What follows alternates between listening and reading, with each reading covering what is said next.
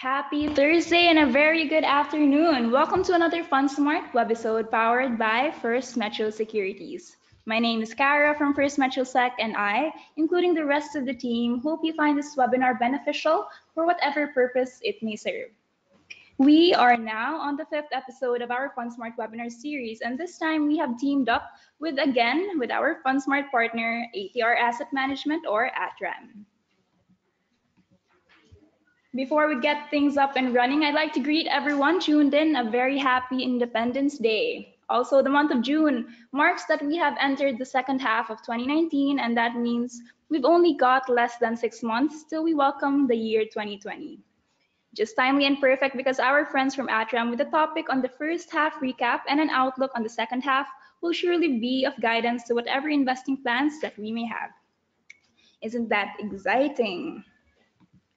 Now, for those of you who are new and who have yet to explore their accounts, FundSmart is First Metro Securities online mutual funds platform, which allows you to subscribe to over 40 peso and dollar denominated mutual funds from the six leading fund houses in the country, including, of course, Atram. It is located on the upper right corner of your First Metro Sec trading platform. And on FundSmart, you can also filter and sort out the various funds by its performance, risk profile, risk rating, fund type, currency, and the like for your convenience. Before handing the mic over to our speaker this afternoon, we would like to take this moment to remind everyone that you can send in your questions at any time through the side panel provided if you're on your computers, or you can swipe left if you're watching this webinar through your mobile phones. We will be answering them later during the Q&A. We're also encouraging everyone tuned in right now to download the available Atram handouts and materials about their various funds, such as the fund fact sheets, through the handout section of the side panel. This will give you a better picture of our topic this afternoon. And again, Atram funds are available to you online through FundSmart with no sales load. We also have exciting items up for giveaway later, including a 3,000 peso worth of in Atram investment credits. So we hope you guys stick around till the very end of this webinar to qualify. We're also inviting you to join the official Facebook community if you're not yet a member. Just type in www.facebook.com slash groups slash First Metro Sec, or you can also search First Metro Sec official community on Facebook. Don't forget to also like and follow the official Facebook page of Atram to get their latest updates at www.facebook.com slash ATR Asset Management or visit, or visit their website at www.atram.com.ph for more information. In the previous episodes of our FundSmart webinar series, we have tackled on various investing topics. Back in our first episode, which also featured Miguel Liboro from Atram, we learned about the basics of fixed income and why we should invest in such securities. But for this episode, we are going to delve on a different aspect. And we will get to learn from the head of equities of Atram himself, Mr. Julian or June Tarrobago Jr., Firstly, what happened to the market in the market, what lies ahead, and finally, what investment opportunities, particularly in equities, are there for us to pursue? To introduce our speaker, Mr. Tarrobago here has 23 years of experience in the capital markets, with stints in both the sell side or investment research and the buy side or portfolio management. Before joining ATR Asset Management, June was the fund manager of for equities at ING Investment Management Philippines.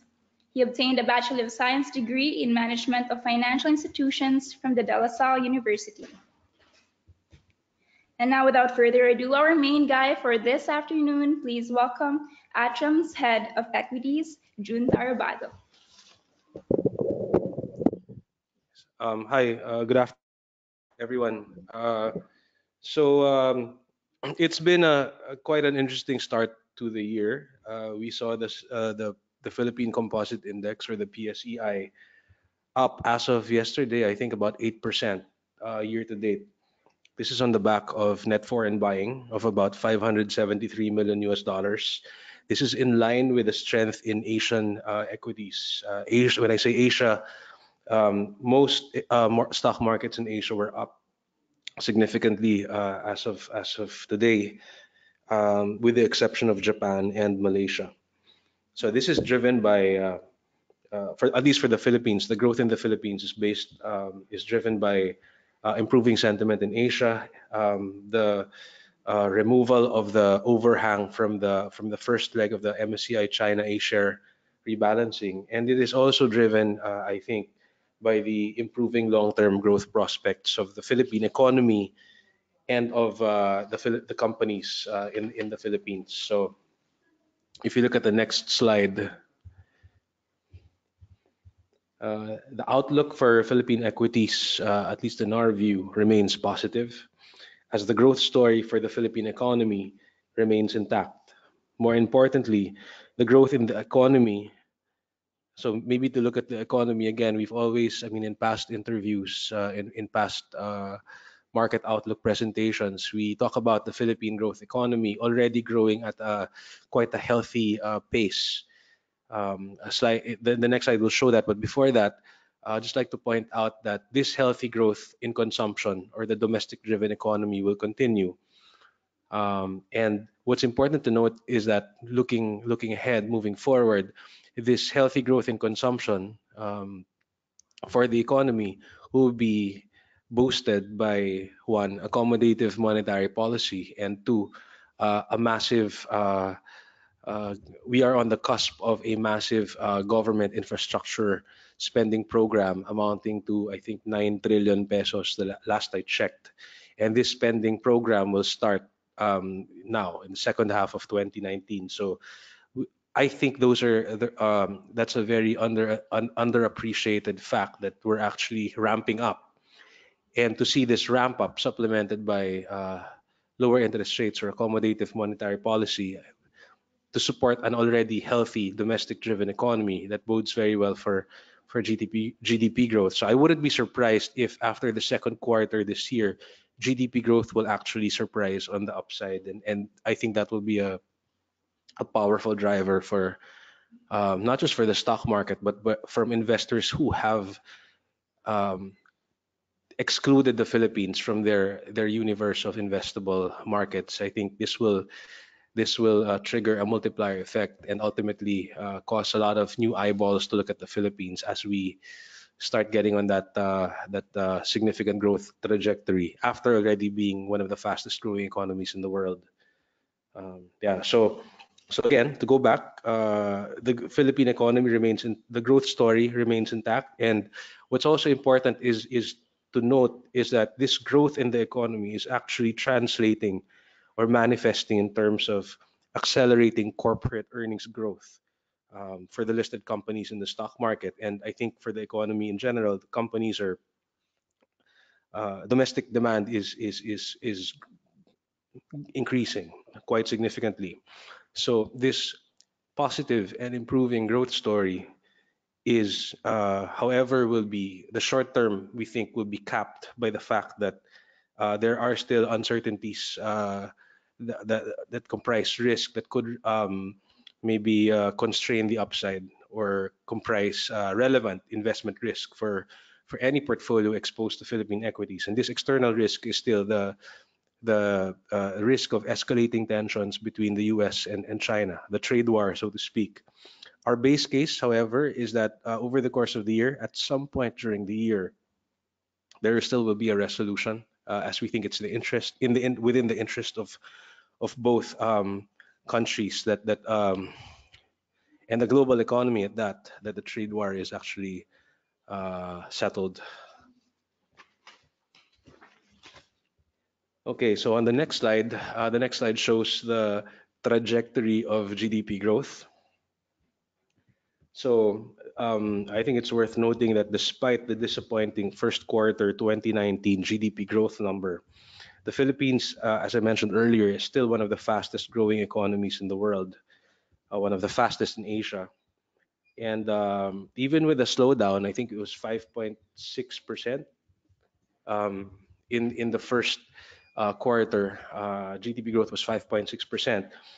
It's still pretty decent uh, economic growth. Uh, more importantly, looking ahead, more specifically after the second quarter or 3Q or 4Q 2019, starting 3Q or 4Q 2019, we believe that the growth drivers for the economy are actually quite have have a high visibility. The growth drivers are actually quite clear, and this is a base of very healthy consumption growth, boosted by massive government infrastructure spending, which will accelerate from 20 from the from the second half of 2019 onward. And the third leg of growth will be accommodative monetary policy, uh, as we see or we anticipate at least one more uh, interest rate cut this year by the central bank, and we also anticipate at least 100 basis points uh, reduction, another at least another 100 basis point reduction in the bank reserve requirement. Uh, in the next slide, uh, yeah, can we go to the what's the next? The next slide is on inflation. So we talked about um, accommodative monetary policy earlier. We we think we believe that the recent spike in inflation was actually a fluke. It's more likely that the Philippine inflation rate will further ease over the course of the year as as uh, rice and fuel prices go down. This gives the central bank more room to lower interest rates and the triple R rate or the reserve requirement rate. Lower interest rates, this what this means is that lower interest rates make it cheaper or easier for businesses to grow and uh, hence potentially uh, boosting the, the Philippine economy. Next slide. Economic growth. Um, so we, we have a slide on corporate earnings, and it uh, so corporate earnings grew 14% in the first quarter of 2019. So this is significant because, as as mentioned uh, earlier, while economic because economic growth is actually flowing into corporate earnings results, the reported first quarter net income uh, from listed companies grew at as I mentioned earlier, very healthy 14% in the first quarter of 2019, and this was driven by large cap names. We estimate um, the the core income growth. So what we do here is we we look at the reported uh, net income figure, and we take out extraordinary items or non-recurring items, and we derive a growth rate if we take out all of those non-recurring or extraordinary gains or losses. We actually distilled the first quarter earnings, and um, we determined based on our preliminary estimates that corporate earnings core, to be more specific, core corporate earnings in the first quarter actually grew by a slower 9%. So instead of 14% was the reported number, but if you take out extraordinary uh, er, uh, uh, gains and losses, the, the core earnings for the first quarter was actually 9%. So it was a much lower number compared to 14%. However, 9% is still pretty decent uh, if you compare to the the five-year average corporate earnings growth rate of about six to seven percent. So um, we think this figure will actually accelerate over the course of the year as uh, economic growth accelerates as well. So yeah, that's the story for that slide. Um, so so we're seeing we anticipate an improvement in economic growth and we're seeing quite an encouraging healthy growth in corporate earnings. Uh, we believe the big listed companies have great visibility on the on the this impro- these improving growth prospects. And what's important is on the next slide um, corporate capex is on the rise or capital expenditures. So we're seeing the big companies with high visibility on the improving demand prospects and improving growth prospects, these companies which have high visibility are actually putting their money where their mouth is in the form of capital spending or capital expenditures. So capital expenditures by the companies. So this is money going into their businesses to fund future growth they realize, they recognize the improving prospects. That's why they're spending. So capital expenditure for the corporates over the last three years has actually gone up by a massive 77%. So talk about a vote of confidence from the corporates with very good visibility on growth prospects. These corporates are putting their money where their mouth is and they're spending on capex in a big way.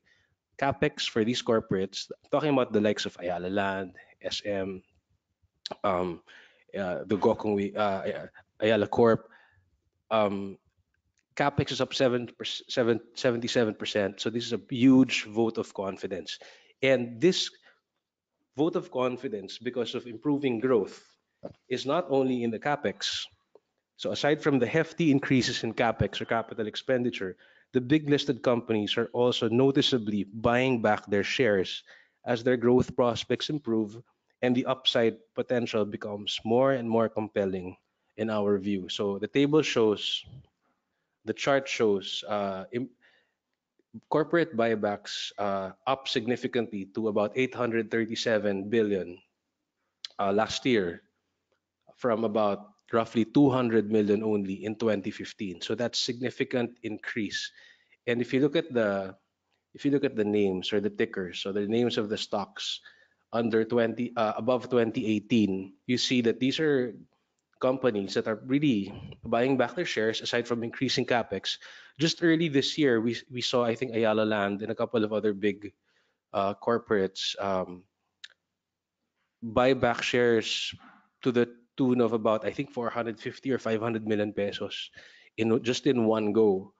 So that for me indicates that the corporates are, are seeing the demand and the demand is real and that they realize the potential for growth is improving was already good and is further improving. That's why they're putting money to work. They're funding they're funding growth and they're also funding buying back their own shares because they think their shares are undervalued.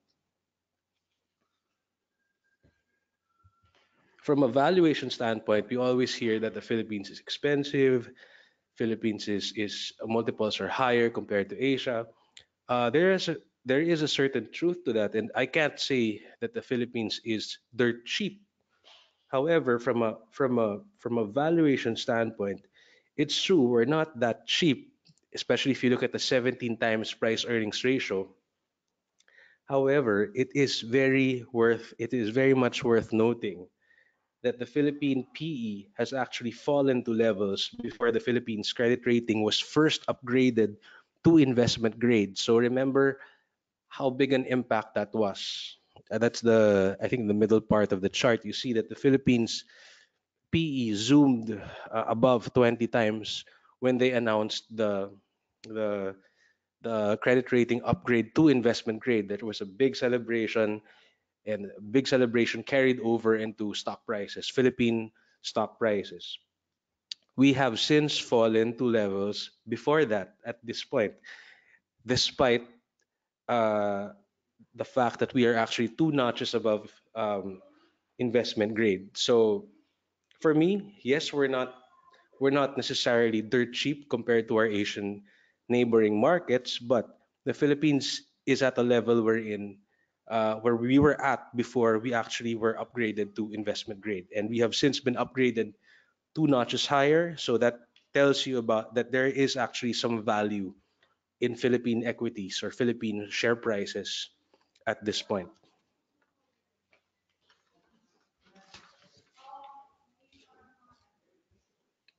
So um, this is not really a secret. I don't think it's a secret. I mean, these improving growth prospects that the valuations are, are actually quite reasonable at this point. Foreigners seem to have uh, recognized this fact and are starting to put their cash to work. So the next slide shows net foreign buying uh, returning this year in 2019 to the tune of I think 570 million US dollars. Um, this is after last year we saw net a record net foreign selling. If you take out all the placements or all the significant share placements in the market, net foreign selling in 2018 was we estimate at about 2 billion US dollars. And that is significant because that is like one of the all time highs in terms of net foreign selling. When you look at the, the I mean, the chart actually shows that net foreign selling was only 1.1 billion US dollars, but that includes the, the investments, uh, the the equity place, the big equity placements last year. You have EDC, I think Robinson's Retail also did a uh, there was also that transaction.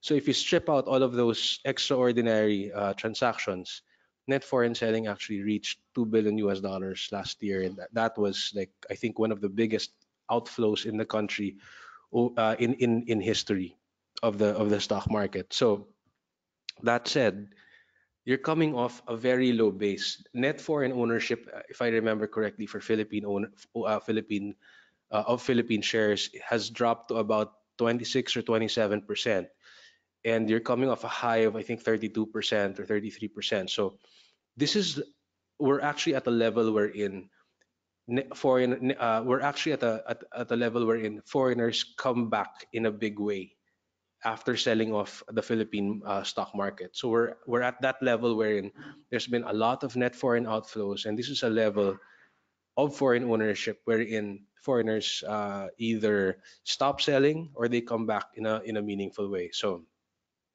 uh, long story short, foreign ownership levels are very low, and this could provide some support for the market uh, as we start getting uh, more positive news flow uh, from a GDP growth uh, standpoint and and other factors that we were expecting um, over the course of the year.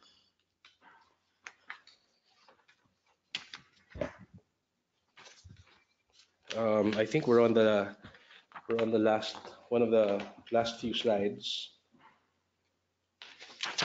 Where are we? Buy equities. Yeah. So so that's the last slide, I think. Is that the last slide? So this the, the last slide just summarizes the the argument um, for Philippine equities. Um, the improving fundamentals and low foreign ownership levels support significant upside for the market the risk return proposition for Philippine stocks is likewise attractive with an upside potential for the short to medium term of about 6 to 12%. That's uh, based on index targets of about 8535 to 905, 9058. I think these are index targets that coincide with uh, multiple price earnings multiple uh, expectations and uh, th that blend well with the support and resist the resistance levels of the market. So we think that's the upside, about 6 to 12% on the market for the short to medium term. If the and and the downside, if you look at support levels, is about 4 to 4 to 7%. More importantly, over the long term, I think by by by uh, 2020, we're anticipating the index to to hit about 10,000. So that's a 24% investment return on equities over the next uh, two years or so. So the risk return is is is actually quite um, favorable for Philippine equities at this point. If we, especially if you don't look at it on a on a short term uh, view. That said, I think we'll leave the the floor to uh, questions. Yeah.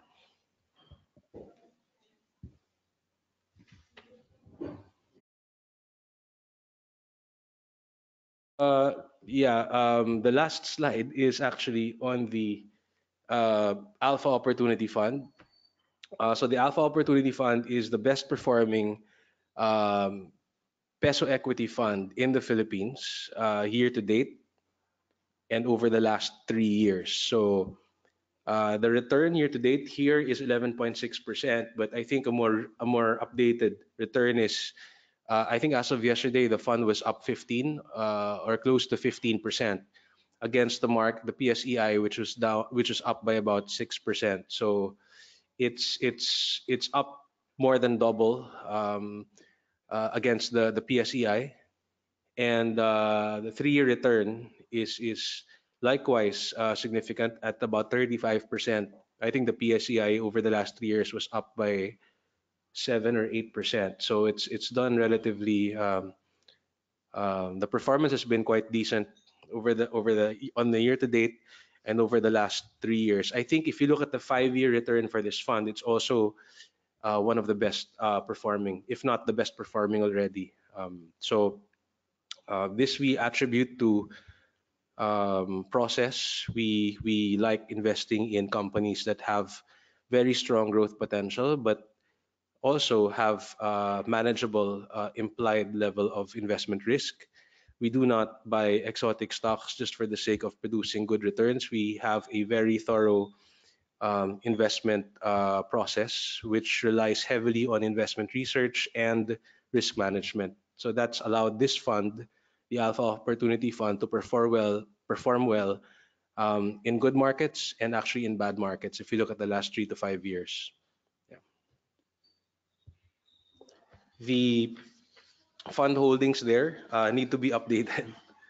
Uh, the the mix has changed a little bit. Our biggest holding right now is actually First Gen, which is I I, I what I believe the uh, one of the or the only pure play on renewable energy in the Philippines. So uh, we also have EEI Corporation, which is still the second largest holding, which obviously will benefit from the massive infrastructure boom we are uh, on the brink of, or probably are, are already starting.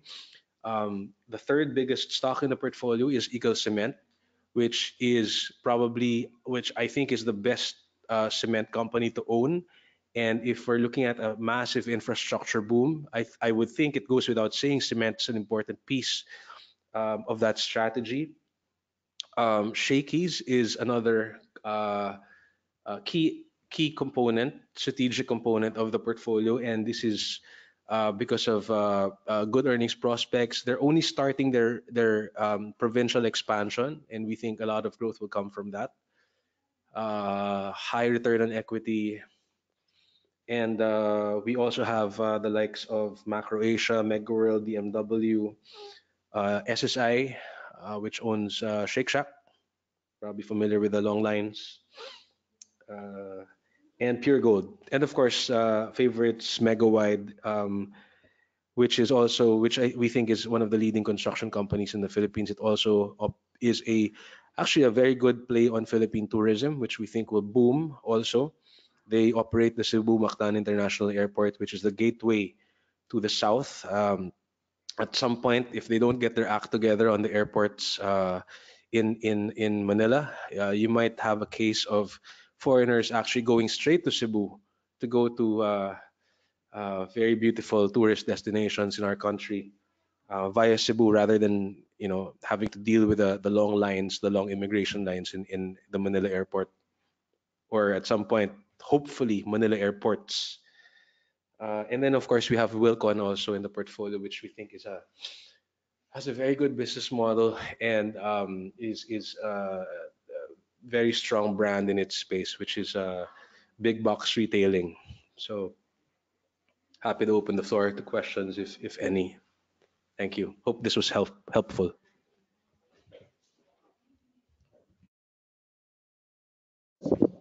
All right, thank you for that very insightful dis discussion, Sir June. I'm sure everyone who tuned in today took away valuable learnings about how they can strategize their way around the current state of the market through equity funds and perhaps taking the next step towards their financial goals. Now, before we proceed with our Q&A, we would like to remind everyone who is not yet a member to join our growing Facebook community.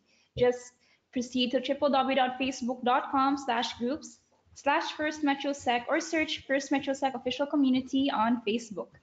And don't forget to also like and follow the official Facebook page of ATRAM to get their latest updates at www.facebook.com slash ATR Asset Management or visit their website for more information. Moving on to the next segment of our webisode today, the Q&A. If you have any questions for Sir June, just type them in via the side panel if you're on your computers or swipe left if you're on your mobile phones. So are you ready, sir? Yes. Ready or not? Here you I'm going to proceed. Ready or Let's start not. with some questions which were sent via email. What is your view on cryptocurrencies? How do you think the changing monetary landscape can affect the banking system? Um, I, I think there is a there there is a space for cryptocurrencies. Uh, very although this is a very theoretical answer, uh, given that we're moving into uh, a digital a digital world or we're we're moving further into digitalization, uh, technology, digital world it makes sense to have a digital currency. Uh, unfortunately, I don't know enough uh, in terms of valuing cryptocurrency, so I'm not quite sure if the current cryptos are are, are actually the ones to go with, or there will be a much improved, there probably will be a much improved crypto uh, in the next year or so. Um, but at this point, um, I've, I've stayed away from crypto, from investing in cryptocurrency because I simply don't know how to value them at this point. But it makes sense for to have a cryptocurrency, which is a digital currency, as we move uh, further into this this dig digital age. All right, thank you for that answer, Sir June. We have another question that was sent through email. You seem very bullish on the growth story of the Philippine economy. I am curious, however, what factors could, if you see them starting to happen, make you change your viewpoint on the bullishness? Sure. Um, first of all, uh, if inflation uh, starts moving up in a in a big way, that would that would warrant serious consideration of our outlook, uh, review and consideration and evaluation, reassessment of the outlook, and um, if the from an external, fr- uh, in, internally also, if the current account deficit uh, balloons uh, significantly, that would um, I, I think warrant serious reconsideration of our, our current estimates and bullishness uh, currently. From an external standpoint, uh, I think the if the trade war uh, escalates and spirals out of control, I mean, I mean, I mean the trade war between U.S. and China, then that would also warrant serious reconsideration of our investment thesis for Philippine equities. All right, thank you for that answer, Sir June. Another question, last, that was sent through email. Listed companies have in recent years increased their gearing in light of improving prospects and low interest rates. But how far in the future do you think interest rates can stay this low without producing a macroeconomic imbalance? Good question. Yes, very good question. Thank you for that. Um, we we think that yes, Philippine companies have increased uh, uh, leverage um, that's because that's also because the indebtedness or the net gearing ratios of Philippine corporates were at very low um, levels. One could actually say uh, non-optimal levels, uh, and they've just aligned. They, they've just increased um, leverage to to perhaps optimize uh, their capital structures. Uh, also, given the fact that rates were were still quite attractive, interest rates were still quite uh, easy or light um, what was the follow-up question? The Uh, follow-up question is. when do we expect rates to? Yes, uh, but how far in the future do you think interest rates can stay this low without Mm. producing a macroeconomic Sure, sure. I. I, I don't think I'm in a position to, to talk about uh, to talk very far into the future. Um, I will talk about uh, what what I can refer to is the central bank cycle, and the BSP cycle right now I think is more prone to cutting rates rather than uh, raising interest rates. Uh, if you extend the view to perhaps next year, we think that uh, given the fact that the government is is primed to to increase uh, spending, that could put some pressure on on interest rates or inflation to go up, but we don't think it's going to be in a big way. Um, in other words, we think that inflation will be actually relatively behaved um, this year and next year. This year, of course, you possibly can. We, we think the the the the, the recent infla- inflation number was a, a- actually a fluke, and we think that lower rice prices and lower uh, food prices uh, and lower fuel prices will actually uh, be more pronounced over the course of the year and and and uh, result to inflation going below three percent, uh, at least for the remainder of the year. Um, and we don't think inflation will spiral out of control next year. So um, the, I think the short to medium term outlook for interest rates is is is not worrisome at this point. Uh, I'm not sure about the the longer term though. I, I'm I apparently I haven't looked at that uh, long term uh, view on interest rates yet. Yeah. All right, thank you for that answer, Sir June. Now we can uh, start accommodating questions that were sent through the webinar. We have one question, macroeconomic question. How would US-China trade war affect businesses here and which sectors would be in an advantage and disadvantage from this moving forward? Okay, so um, the U.S.-China trade war uh, is is is causing a lot of uh, uncertainty and a lot of anxiety and a lot of concern. But the main implication for, for the Philippines is that uh, the, the impact would be less relative to everyone else. And this is because we have a largely domestic driven economy. Um, our growth doesn't come from exports. Uh, it's it's because of what's happening on the ground, uh, consumption, infrastructure, um, uh, and and and tourism, uh, and of course you have uh, of course the I think a resumption in um, in in grow in areas that have been um, quite benign uh, recently. So the, the impact on the Philippines will be will be much less. Um, some people are saying it could actually even ben- the trade war could actually benefit uh, the Philippines as outsourcing is increased. But uh, I, I I I'm afraid I don't have that kind of visibility right now. I haven't really considered that. Uh, I haven't tested that thesis yet. I don't have enough information to to say that is going to happen for sure. What I do know is we will be less adversely affected than everyone else because of our domestic driven economy. And I think if if I may relate this to the market, one reason why foreign inflows are all, are going are coming back in, I think there was a stretch during the year wherein we had 18 straight days of net foreign selling.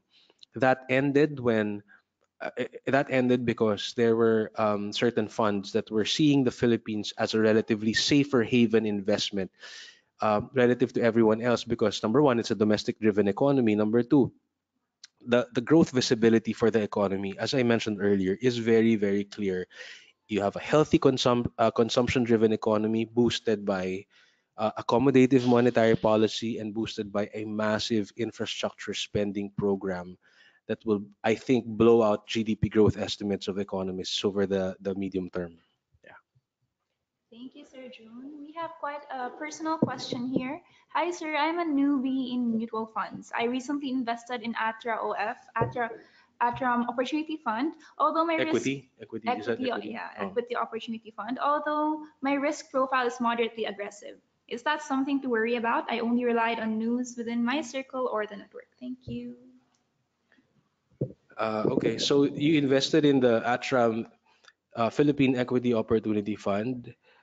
I don't think that's something to worry about because, as as I mentioned, um, I think the message for this entire presentation is that the growth, the Philippines is going to be okay because its growth prospects remain strong and clear over the short, medium, and long term, unless there is a a, big external shock that happens or a massive political fallout. Actually, even political fallouts have, historically speaking, been the best opportunities to buy the market. Uh, but but if, unless there's a big external shock, I think you're you're okay. Um, given that the growth prospects are clear and strong, and that the corporate the corporates are actually uh, very optimistic and they have very good visibility in terms of uh, the demand supply situation for the different and the growth prospects for the indus- the different industries that they're in. Thank you, Sir June. We have another question that is quite personal. Hi, sir. I'm way past my retirement age. What fund or funds would you suggest for me? Also, which is better for me, stocks or mutual funds? Okay. Um, normally, as as uh, uh, as people come uh, are at or or closer to retirement age, the the percentage of their equity holdings uh, goes down, um, and their the the level of fixed income um, investments go up. So I would I would I would uh, prescribe that approach as well. So uh, the closer you are at or past retirement age, the bigger your fixed income portfolio should be relative to your equity holdings. Thank you for that, Sir June. We have another question here that is quite personal but on your side. Okay. In your years as a trader, do you think the ghost month really has an effect on the prices of equities? Uh, the go- the the ghost month, which is generally August, uh, has a an effect on prices of equities only because a lot of uh, a lot of fund managers, foreign fund managers, are on uh, holiday. Um, that means there is less activity in the market. That means if there is someone who needs to sell, uh, and and the big players are not there to buy because they're on vacation, then stocks can actually soften or weaken. But that's it. And for for maybe for traders, it's it's quite significant. But but for us long-term investors, it's actually you know it's actually something we look at in terms of hey is the, is the market going to drop enough that you know we can actually buy it at very very good uh, price levels that's how we look at ghost month as an opportunity to buy at a good price at better prices if we have a, a, a and because we have a long-term positive view on on on the market. Well, in terms of like changing our, our long-term investment strategy because of a month wherein fund managers are on vacation it's not something that that, that we do and it's not something I, I would advise as a strategy. Thank you for that question. All right. Thank you for that sir june i think we have time for around two more questions or one more question okay uh, what do you believe it, what do you believe is the best resource for traders that are just starting out? The best resource for traders that are starting out. Best resource in terms of uh, uh first of all, I'm I'm I'm not a, a, trader. I am really more of a fund, a long-term uh, fund manager. But if if I were, well, in my during my trading days when I was much younger, I I relied on a uh, there's this book called uh, Market Wizards, and uh, it's it's it, it's a compilation of interviews with the best traders, uh, be it uh, equities, be it uh, commodities, uh, or or or currencies, uh, and and there are a lot of valuable lessons that can be learned from that series of books, Market Wizards. You can look it up. I'm sure it's you can get it on Kindle or uh, Audible. Yeah. Thank you for that, Sir June. Thank you so much for enlightening our viewers and accommodating their questions. Thank you as well to everyone who participated and sent in their questions and the things that they were curious about. Our sincerest apologies as well that we weren't able to entertain them all due to time constraints, but fret not because we will also be accommodating these questions through email. We will do our best to do so. And thank you again, Sir June. Welcome. And now we are heading on to everyone's most awaited part, our giveaway. This afternoon, we are giving away three exclusive Atram shirts and the grand prize, a 3,000 peso worth FundSmart investment certificate to be invested in any, At any Atram fund. So that's definitely the perfect way to channel your learnings from today. So here, the, here are the mechanics. Take a screenshot of the next screen, go over to your Facebook wall and post it along with a caption about your favorite part of this afternoon's webinar with Atram. We are encouraging you guys to feel the independence, like since we're still on an Independence Day high, with your entries. You can get as creative as you want. You can get specific. You can share out your learnings. You can even share your strategies if you have, or what do you plan on doing or perhaps investing. We will be choosing three lucky winners for the shirts and the one with the best caption will win the investment credits. Just please don't forget to make it public and tag us at First Metro Securities. It's that easy. We will contact the, the winners personally via Facebook. So once you guys are ready, go ahead and take the screenshot now.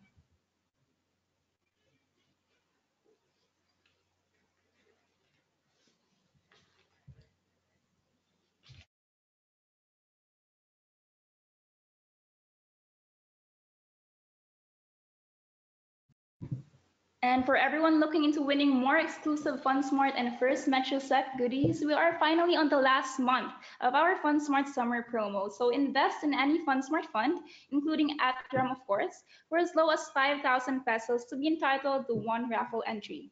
The more raffle entries you have, the more chances of winning. And in case you didn't know, by just investing, you can also get the chance to win ATR's grand prize, which is a staycation for two. Now that's exciting. Where where is the staycation? Fairmont. Ah, Fairmont. Wow. Can I join? I, I guess that's it. Flash on screen are AT, ATR's eligible funds available for the promo. This runs from April 1 to January rather June 30, 2019. You can find more details available on our website. And that is a wrap. Thank you so much to everyone who tuned in this afternoon. We hope to catch you on Tuesday next week, June 18, for our Besties webinar series, now on our 17th episode with Marco Tarog, our Business Development Officer.